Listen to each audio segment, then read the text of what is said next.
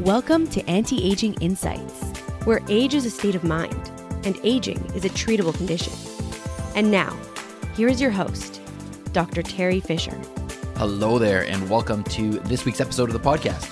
If you are wondering what the aesthetic experts are speaking about when they go to conferences, this episode is for you. This is all about the inside information at the recent International Master Course on Aging Science, the IMCAS Congress that just happened. Today, I'm going to give you a quick rundown on this recent conference. It happened in February of 2024, and I thought it would be interesting for us to take a look at some of the trends that are emerging from this Congress. I want to share with you some of the most relevant and interesting news that can impact your decisions in terms of where you're going and also just for your understanding of what's happening in the aesthetics field as we go forward. So, again, over the next couple of minutes, I'm going to bring you the highlights that happened at IMCAS 2024. And again, that's the International Course on Aging Science Congress. Now, this is a major, major congress. This is an annual event, and it is renowned for the rich content and the significant contributions to the field. There were over 18,000 people at the Congress this year, including dermatologists, plastic surgeons, primary care aesthetic professionals, and this was, as it always is, a hotbed for innovation and the exchange of knowledge. So, I want to talk a little bit about some of the trends that came out of the Congress this year. One of the standout trends that we're seeing this year is the remarkable push towards minimally invasive procedures. And clinicians and patients alike are showing an ever increasing preference for treatments that offer less downtime and a quick return to daily life.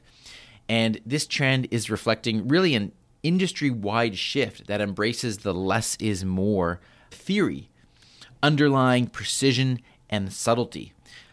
In particular, a notable highlight from the Congress is the ongoing advancements in laser technology and its applications. As you may know, lasers are constantly being improved, they're being fine tuned to treat a variety of skin issues more effectively than ever before. I know, for example, at our clinic, we now have a laser that actually treats acne called the AviClear laser, something that is a relatively new innovation. As these technologies advance, they're opening the door for customized treatments that cater specifically to individual patient needs. And that's setting a new standard for personalized care. Now, this is something that has always been important to me, but I love the fact that this is actually being highlighted as a trend. Combining treatments has also emerged as a pivotal theme. The synergy between different modalities, such as combining fillers with energy based devices, is pushing the boundaries of what we can achieve when it comes to facial rejuvenation. I love this because it's an integrative approach and it's not only yielding impressive results, but it's paving the way for more holistic treatment plans that are tailored to deliver comprehensive outcomes. And again, I'm really proud of our clinic at Anti Aging, where we have been doing this for some time now, where we look at a complete facial analysis and we do make suggestions that are multimodal, that are multidisciplinary, and that capitalize on the benefits of different types of treatments. Another big theme that came out of the Congress was an emphasis on evidence based practices. And with a surge of research and clinical studies that are being presented, it's clear that the aesthetic community is striving for treatments that are backed by solid scientific evidence. I personally love this as well. In my medical uh, practice, I've always believed in evidence based medicine, meaning treating patients with the best evidence that we have when it comes to research. And what's interesting is that this approach is now resonating very well with the modern consumer's desire for reliable and proven therapies. Of course, the topic of safety remains paramount. The discussions at IMCAS underscored the importance of maintaining the highest standards of patient care.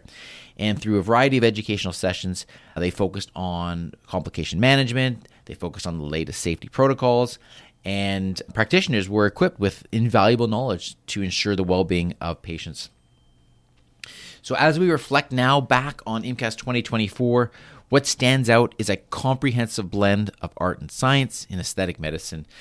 The focus is sharpening not only on creating beauty, but also on ensuring that the journey is a safe and comfortable one, as safe and comfortable as possible for the patient. it's really an exciting time to be part of this uh, evolving field. So, with that summary, I hope that gives you an idea of things that we will be discussing more and more over 2024. It's always a pleasure to chat with you, and I look forward to bringing you some new interviews coming up. I have some other exciting projects in the works, which I'm not quite ready yet to reveal today, but we'll get to those shortly. And as always, if you are enjoying this podcast, sharing it or leaving a review on your favorite podcast player is, of course, always appreciated. Thank you very much for tuning in and lending me your ear, and I look forward to speaking with you again very soon. Uh, till next time, be well. Talk to you again. Thanks for listening to today's episode of Anti Aging Insights. Stay tuned to discover more of the latest news, treatments, technologies, and developments in non surgical cosmetic and anti aging medicine. For more inspiration, to access the show notes, or to book an appointment with Dr. Fisher, Dr. Frame, or any of the other anti aging professionals, please visit our website at antiagingvancouver.com. Until next time, stay inspired and live life well.